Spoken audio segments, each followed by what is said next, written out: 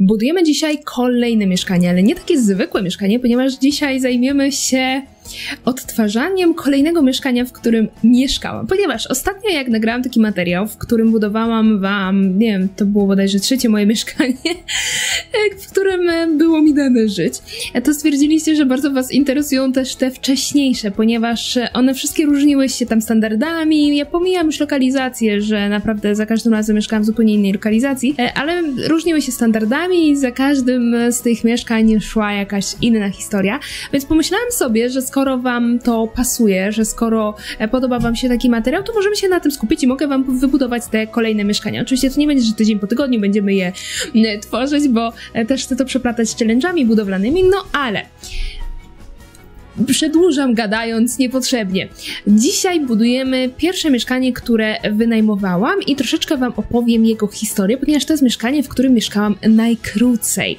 Jest to mieszkanie, przy wynajmie którego dosyć wiele rzeczy mnie zaskoczyło, które na ten moment na przykład uważałabym za niespecjalnie spoko, ale wtedy nie wiedziałam, że to nie do końca jest dobre. I pamiętajcie o komentarzach, łapkach, subskrypcji, wspieraniu, o tym, że jeżeli robicie zakupy na EA app, cały czas możecie korzystać z kodu Scarlet, jeżeli chcecie w ten sposób wesprzeć moją twórczość, to wam nie powiększa w żaden sposób kosztu e, zakupu, ani niestety nie pomniejsza, nad czym ubolewam, bo fajnie by było, gdybyście mieli z tego chociaż jakąś jeszcze zniżkę. E, natomiast y, procent z tej kwoty, którą tam ostatecznie finalnie płacicie za swoje zakupy, jakiś tam procent z tego jej przekazuje mnie, więc jeżeli macie ochotę mnie w ten sposób wesprzeć, a nie możecie, a lubicie mój kanał, e, to możecie to tak e, zrobić właśnie w ten sposób i lecimy do budowania. Słuchajcie, jeżeli chodzi o moje pierwsze mieszkanie, to tutaj jeszcze taki background muszę zrobić, e, ponieważ ja w Krakowie mieszkam już myślę od, znaczy mieszkam, tak faktycznie mieszkam, to myślę, że od 10 lat. Natomiast w Krakowie już tak pomieszkiwałam na 3 lata, zanim się w ogóle tu e, przeniosłam.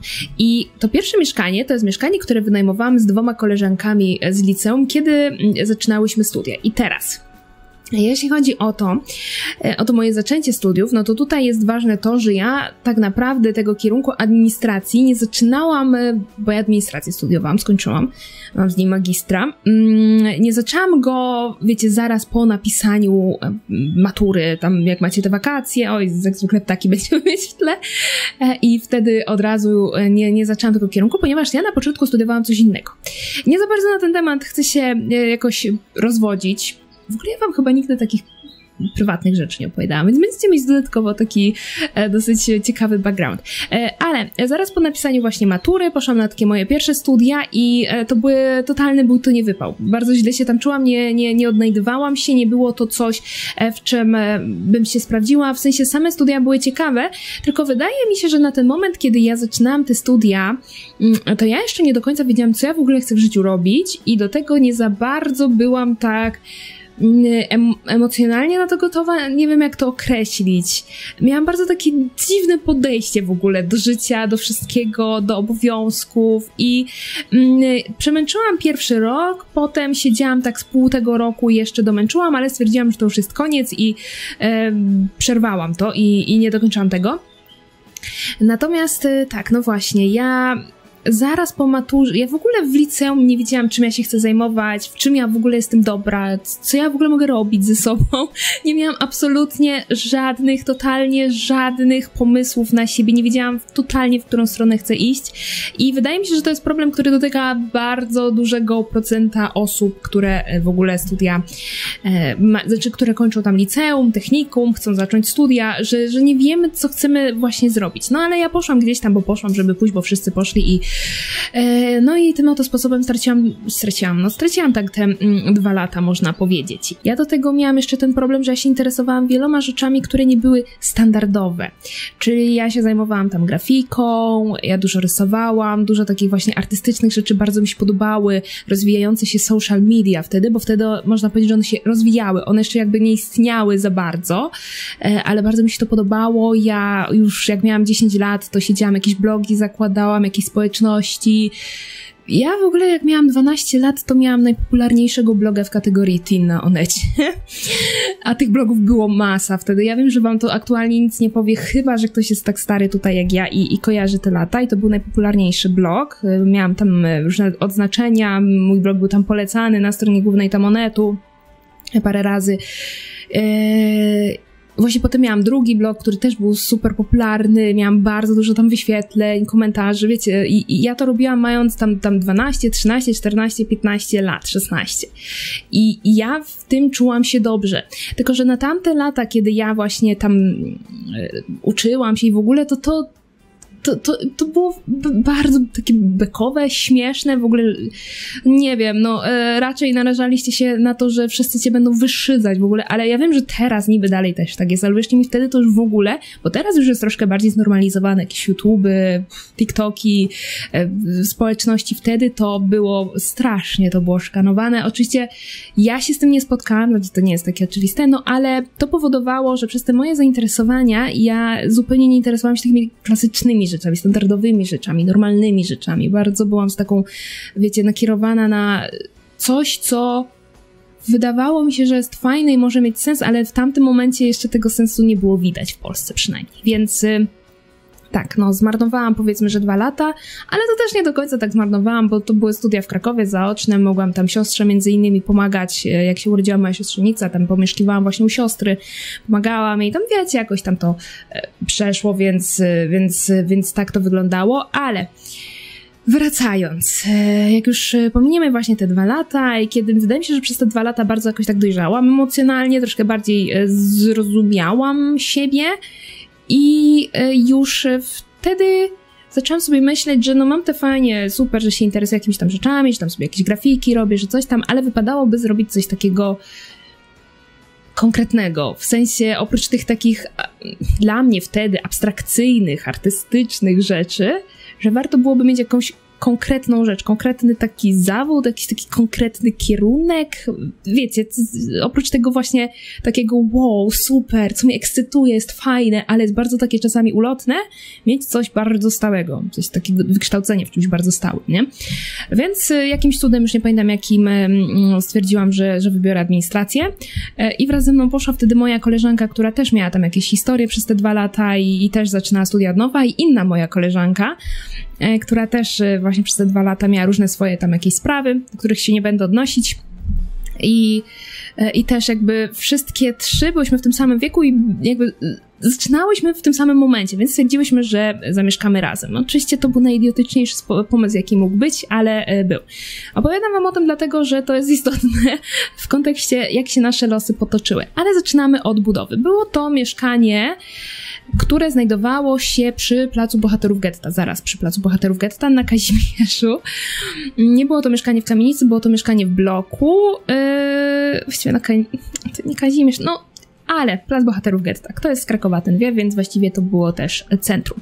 E, zaczynał się od tego, że no to był blok i my tu miałyśmy taki korytarz mniej więcej taki. Nie pamiętam już wymiaru, więc wymiarowanie może mi się tutaj nie zgadzać e, w tym moim budynku, więc zaczynamy, tutaj robimy tak.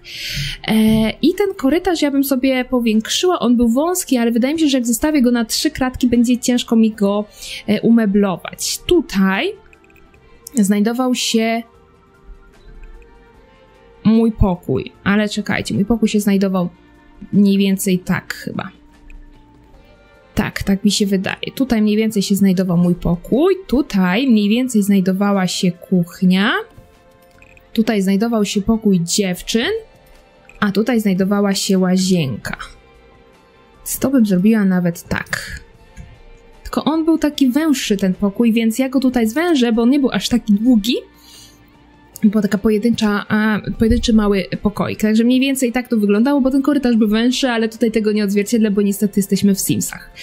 E, I jeśli chodzi jeszcze o to mieszkanie, to tutaj był balkon w tym pokoju. W tym pokoju był balkon, więc robimy sobie jakieś drzwi balkonowe, tylko ja muszę sobie tu wpisać kod na pieniądze i lecimy. Ja to mieszkanie bardzo już bardziej nie pamiętam niż pamiętam, więc nie jestem w stanie stwierdzić, czy wam go dobrze mm, tutaj odtworzę. Wydaje mi się, że nie, ale to było takie mieszkanie właśnie, gdzie było mniej więcej tak. Może tak, żeby nam było e, prościej. I lecimy do drzwi i drzwi, które tutaj umieszczę, to są takie zwykłe drewniane, proste drzwi to były. Ale czekajcie, czy one, one były z szybą? Nie, nie, nie, one były z szybami. One były z szybami. Tylko te szyby nie były przeźroczyste. Ale Hmm, jak dam te drzwi, to to nie będzie tak odzwierciedlało. To dam po prostu te, bo one były białe i one były z taką szybą, ale ta szyba nie była przeźroczysta i one nie były PRL-owską szybą, tylko takie wiecie, nie? Białe... No, coś takiego na pograniczu. Te okna będą mnie tu drażnić, bo one były proste, a te wzory mnie jednak drażnią. Chwila, poszukam jeszcze czegoś może bardziej takiego odpowiedniego. Nie wiem, może te okna po prostu damy bo tamte będą bardzo nie odzwierciedlać, bo to były takie zwykłe, proste, białe okna, takie jak są w Polsce w każdym domu, ale mm, no ale nie ma czegoś takiego tutaj w Simsach. No, i to było takie nasze pierwsze mieszkanie i to mieszkanie było powiedzmy, że z agencją załatwiane i to było mieszkanie, które, którego właścicielem była taka e, starsza pani. E, no i ta starsza pani to była dosyć interesująca persona, bym powiedziała, e, bo no, no oczywiście jak to bywa przy wynajmie, szczególnie w Krakowie, to trzeba było jej osobiście zanieść pieniądze, bo nie można było przelewami. I my wtedy nie ogarniałyśmy, dlaczego trzeba było jej oficjalnie za bardzo no, nie ogarniałyśmy, no, no, no, nie byłyśmy zbyt e, inteligentne, jeśli o to chodzi. E, dlaczego miałyśmy jej to e, przynosić, specjalnie do niej jeździć, do jej domu w Krakowie i, i nosić jej te pieniądze? Dziś już wiemy, dlaczego tak było.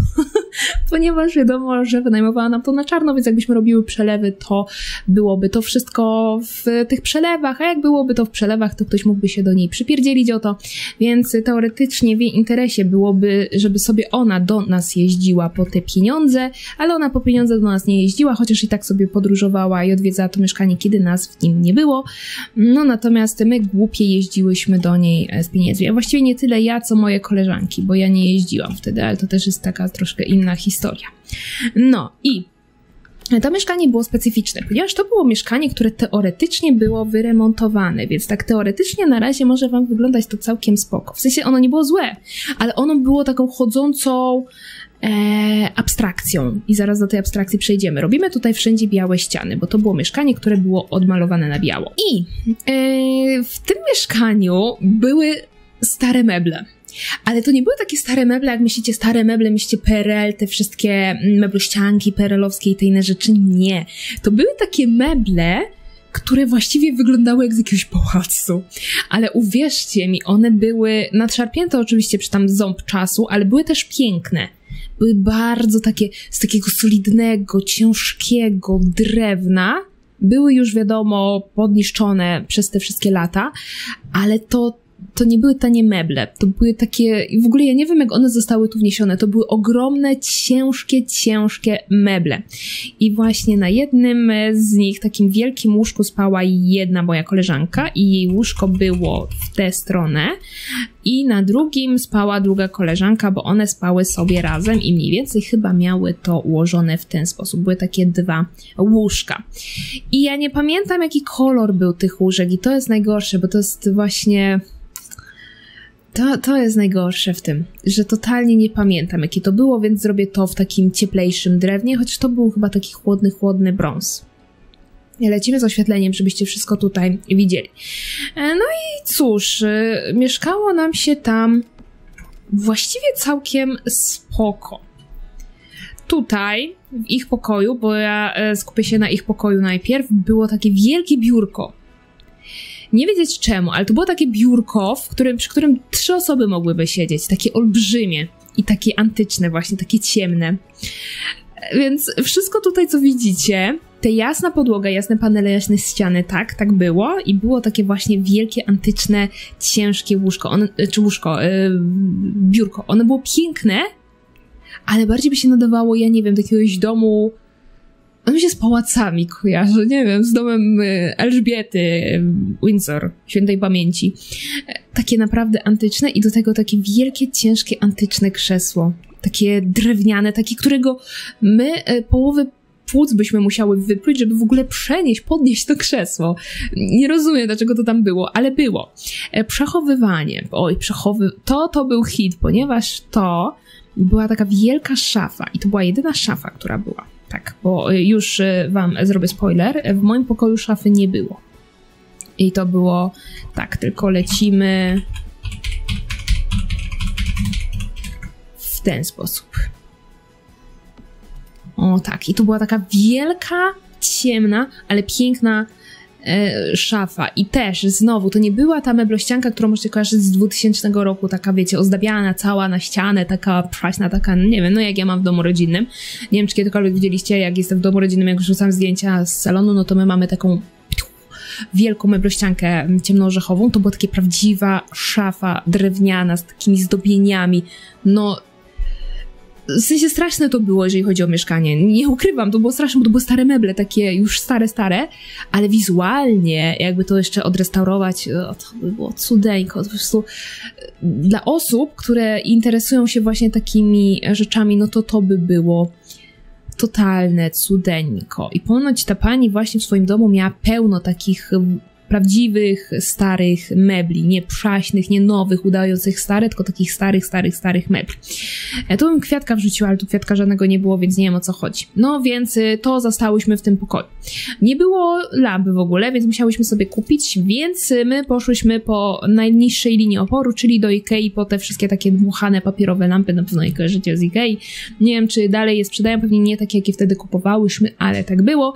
No i nie było żadnych filanek zasłon, więc sobie kupiłyśmy i tym oto sposobem tutaj e, znajdowała się firanka liliowa, taka bardzo ładna. Żałuję jej bardzo, bo ona została na tym mieszkaniu, ja powinnam była sobie ją wziąć. W sumie, bo ja je kupowałam.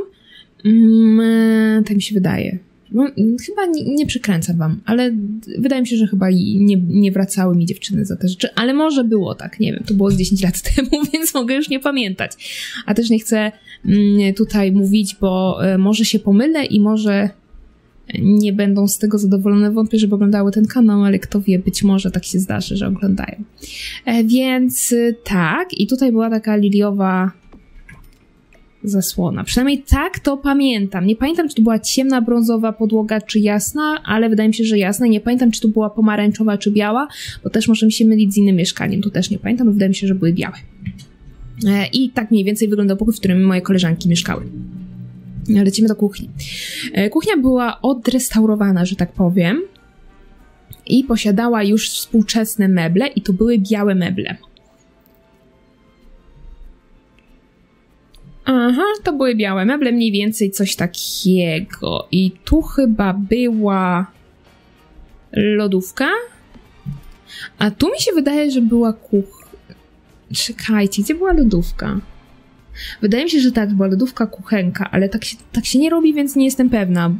Nie, nie kładzie się kuchenki zaraz koło lodówki, ale, ale tak mi się zdaje. Tak, tak bym to zrobiła teraz. No niemniej tak to wyglądało że była kuchenka, była lodówka i wszystko było sterylnie białe. Absolutnie bielusieńkie. Totalnie, totalnie białe. O, jakie mam fajne meble tutaj nad wiedziałam. Totalnie białe i tutaj lecimy z tymi półkami, no i tutaj mniej więcej sobie tak zrobimy. Bo to chyba było tak się wydaje. Tak, to było wyżej. I no i tutaj była ta kuchnia, e, tutaj było tak. Tutaj chyba nie miałyśmy żadnej zasłony. Tutaj też była wydaje mi się ta lampa z Ikei. No i do tego tutaj był taki mały stolik. Wydaje mi się, że to był zwykły, zwykły, taki plastikowy, taki ikeowski najtańszy stolik, jaki mógł być. Mm, tak mi się wydaje. Nie pamiętam go już, do, Jezu, z 10 lat i ja już totalnie nie pamiętam tego mieszkania. Ale mieszkałam w nim nic, tak z pół roku, myślę, no więc... Y więc mam prawo nie pamiętać aż tak, bo się nie przywiązałam jakoś mocno do tego lokum.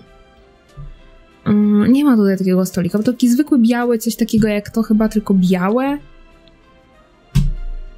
No nie jest to aż tak chyba istotne, jak dokładnie to wyglądało, nie?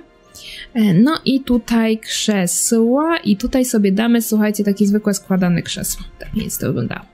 Więc y, te meble były tutaj takie antyczne i w ogóle to mieszkanie w ogóle było komiczne, bo z jednej strony było takie wyremontowane, no bo podłoga była w miarę nowa, ściany były bielusieńkie, ale posiadało takie meble wiekowe, oprócz oczywiście kuchni i łazienki.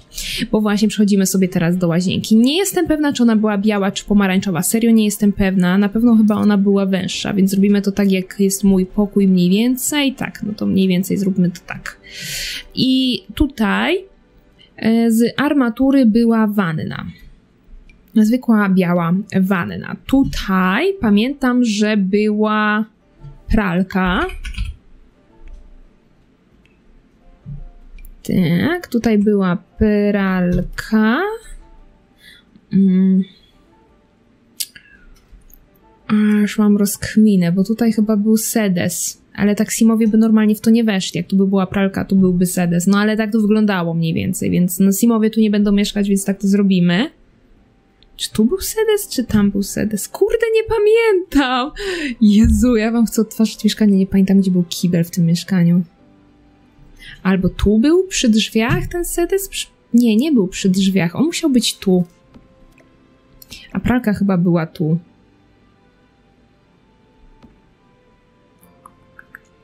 Ale wtedy, żeby to miało sens simowy, to musielibyśmy to zrobić tak. Dobra, zróbmy to tak. Nie jestem pewna, ale wydaje mi się, że to tak było. I ta pralka była też bielusieńka. E, I tutaj mieliśmy blaty. To był zwykły taki blat prosty, coś takiego. I zlew chyba, tylko kurde, nie pamiętam.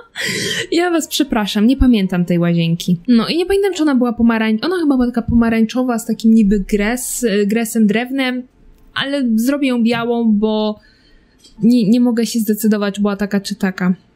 Nie pamiętam. Kurde, lata lecą. Nie pamiętam. Nie pamiętam tej, tego kibla totalnie nie pamiętam. E, dobra, lećmy dalej, bo to już jest śmiech na sali trochę. E, przechowywanie. Przechowywanie dlatego, że tutaj znajdowała się taka komoda. Też taka retro, vintage i w ogóle taka długa jak ta, ale bardziej w stylu tej. Czyli właśnie taka antyczna, taka wiecie, ciemna i w ogóle. I tutaj miałyśmy buty. I to było tyle, jeśli chodzi o ten przedpokój. W sumie można by było to ściąć o tę jedną kratkę, nie będzie to przeszkadzać. Że to było takie wejście i to było to i tylko i wyłącznie było to. E, ale to była bardzo, bardzo długa komoda. Mi się wydaje, że ona byłaby jakby podwójnie ta. Taka, wiecie, totalnie długa, bo tutaj wszystkie buty trzymałyśmy. No i lecimy do mojego pokoju. Ale zanim do niego przejdę, to wam opowiem, co tutaj się e, działo i dlaczego tak mieszkałam krótko. E, no, e, z... jest taka prawda, którą ja wyznaję i się z nią zgadzam, że najgorzej to się mieszka z przyjaciółmi. To jest największa, najgorsza rzecz, jaką możemy sobie zrobić. Dlatego, że jak się z kimś przyjaźnicie, to wkracza wam tutaj takie coś, że mieszkając, czy przyjaźniąc się z kimś, spotykając się z kimś w szkole, wiecie, nie wiem, w parku, w knajpie czy coś, w kinie, to no to jest fajnie, spędzacie czas, ale jak mieszkacie razem, to sobie uświadamiacie, że wszyscy jesteście upierdliwi dla siebie wzajemnie. A jak się ze sobą przyjaźnicie, to dochodzi do tego problem, że macie troszkę problem, żeby zwrócić uwagę na rzeczy, które was drażnią. I e, my miałyśmy tego e, właśnie skutek taki, że ani ja nie potrafiłam powiedzieć o rzeczach, które mnie drażniły, ani moje współlokatorki nie potrafiły powiedzieć o rzeczach, które je drażniły. I człowiek w sobie to trzymał, więc narastała w nas y, frustracja. Ja jestem zwolennikiem teorii, że najlepiej to się wynajmuje pokoje, nie mieszkania, pokoje z ludźmi, których się nie zna.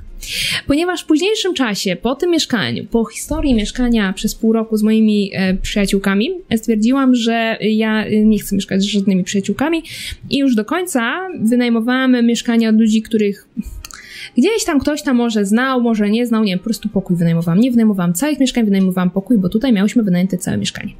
I ja byłam wtedy w takim średnim okresie mojego życia, bym powiedziała.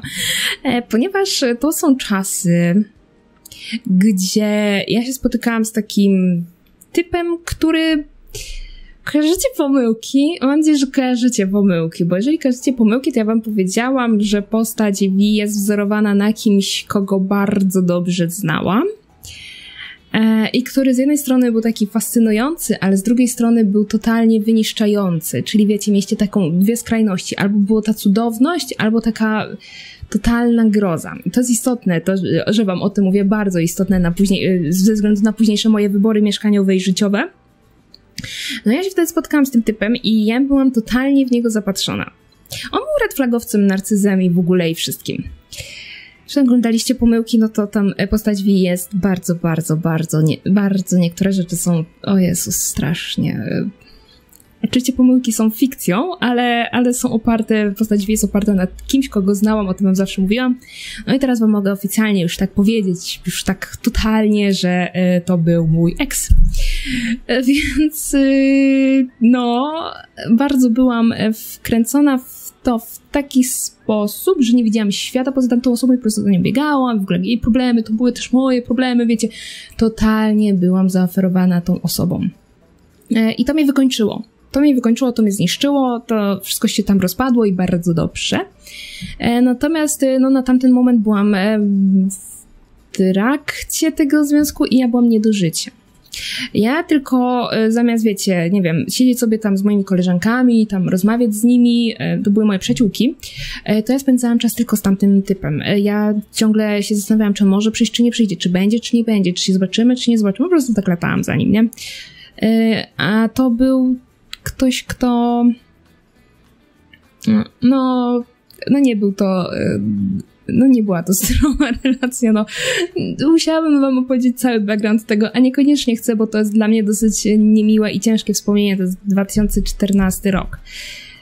13-14. E, I e, nie dogadywałyśmy się. Nie dogadywałyśmy się, e, ani one nie, wiecie, nie zainterweniowały, żeby przyjść do mnie i mi powiedzieć, Karolina, ogarnij się ani ja nie byłam na tamten moment w stanie spojrzeć na nie, bo mój świat kończył się tylko i wyłącznie na tamtym jednym typie. Dlatego ja wam nieraz mówię, że jestem bardzo wyczulona na jakieś e, red flagi, manipulacje, mm, takie rzeczy.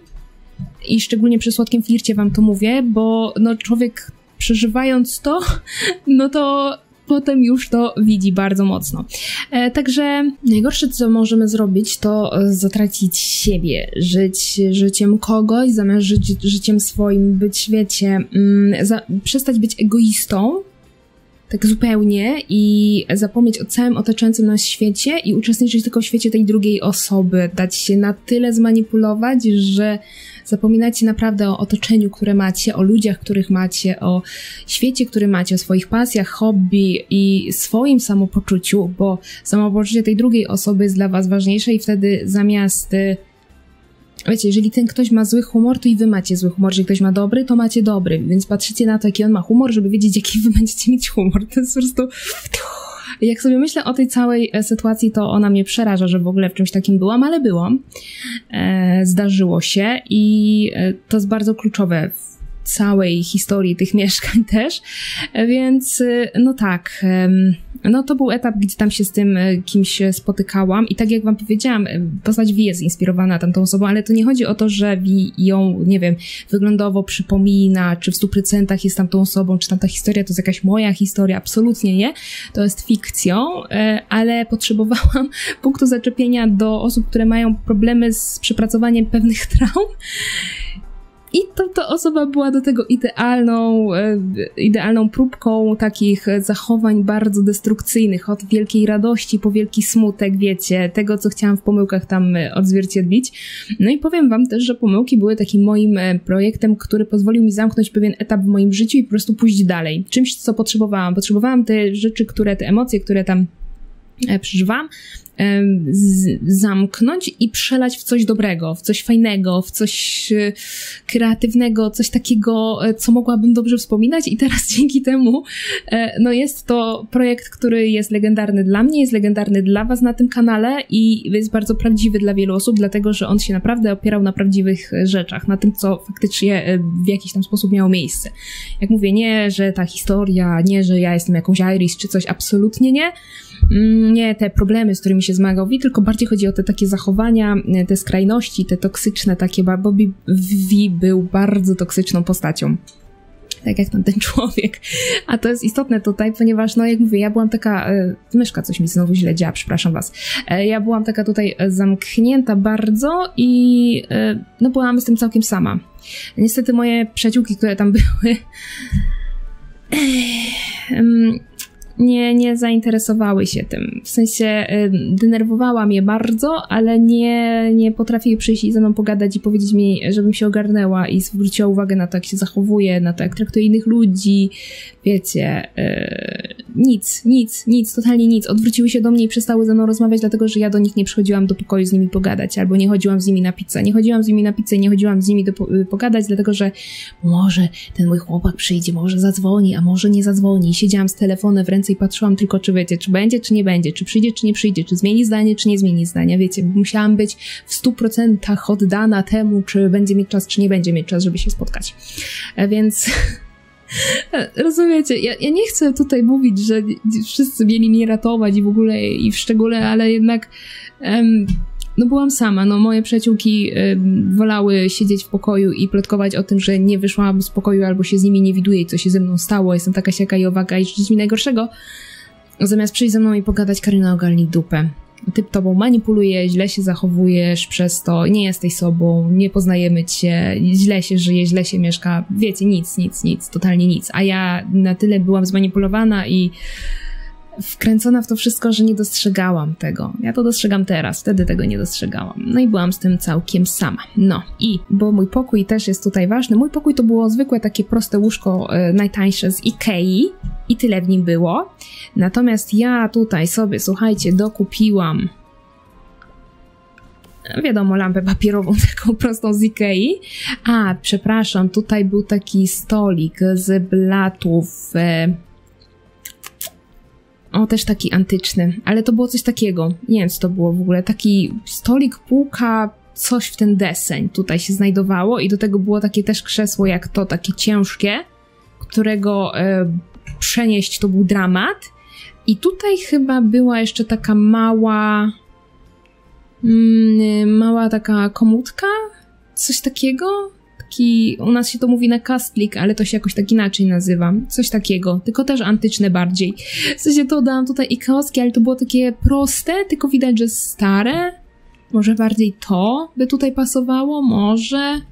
Ale to już jest takie perelowskim vibe'em, a tam to nie było z perelowskim vibe'em. No ale coś tym deseń takiej wielkości. No i tutaj przechodzimy do klasycznej rzeczy, o której wam mówiłam przy okazji mojego trzeciego, tam czwartego mieszkania, to które wam budowałam ostatnio, że miałam taki regał, on się już wiem, Kalax nazywa, tak przynajmniej mi powiedzieliście, e, z Ikei i on podróżował ze mną przez wszystkie mieszkania i właśnie na to mieszkanie go kupiłam, więc e, lecimy sobie tutaj znaleźć coś Kalaxu podobnego. No oczywiście to nie będzie Kalaksem, ale jest y, tutaj, słuchajcie no to jest najbardziej podobny, ale to jest tylko połowa z tego regału tak naprawdę, ten Kalax, bo to są te, y, wiecie, te cztery przegródki, takie o, te cztery tylko, a to jest dużo za duże, no ale niech będzie i ja sobie go kupiłam tutaj w kolorze białym do tego pokoju, ono mniej więcej gdzieś stało tu. I słuchajcie, kolejna rzecz, która tutaj jest, ale ja tego nie znajdę na modach niestety, to ja miałam taką niebieską pufę, taką, e, tą taką, co się formuje, tak jak na niej usiądziemy i właśnie na to mieszkanie też ją kupiłam i ona była tutaj. E, pufa niebieska i do tego było takie czerwone serduszko, które było taką mini podusią. I tak sobie to umeblowałam i do tego miałam niebieskie zasłony. Coś takie same jak moje koleżanki, tylko ja miałam w kolorze niebieskim. A łóżko miałam najczęściej czerwoną, e, taką w groszki też z Ikei. Bardzo ją lubiłam, pościel taką e, głównie ją miałam. Ja sobie ją w weekendy wracałam do domu, więc przez weekendy ona sobie tam schnęła, bo sobie ją prałam i właściwie ją e, cały czas wałkowałam, że tak powiem. I tak mniej więcej wyglądało to mieszkanie. Tutaj miałam jeszcze wielki portret Audrey Hepburn, taki kalendarz z nią. E, także tak. No i cóż, mieszkałyśmy tutaj chwilę, no bo jak mówię, ja byłam w tym swoim transie, tam e, w ogóle świata dla mnie nie było. Moje koleżanki skupiły się na sobie i na nienawiści do mnie za ten trans. W wiecie, nie chcę, żeby to wybrzmiało źle, bo ja poniekąd je rozumiem. W sensie nie rozumiem tego, że nie, nie próbowały jak, w żaden sposób do mnie dotrzeć, porozmawiać ze mną, tylko wolały się obrazić i przestać ze mną rozmawiać. Eee, ale rozumiem, że były mną zmęczone w tym kontekście. Nie rozumiem ich wyjścia z tej sytuacji, czyli obrażenia się i udawania, że nie istnieje, bo my się nie pokłóciłyśmy. Po prostu ja nie miałam czasu z nimi spędzać czasu, bo byłam zajęta patrzeniem się w telefon, czy tamten mi odpisze, no więc wiecie, nie? Więc one sobie same spędzały czas e, i, e, i ja siedziałam tutaj sama i, przeżywałam mój mały koniec świata jeden z wielu, za każdym razem, kiedy tamten typ miał gorszy humor. E, no więc tak. To jest niekomfortowe do opowiadania. Przemieszkałyśmy w tym mieszkaniu, myślę, tak z 7 miesięcy, jakoś tak, bo one w końcu nie wytrzymały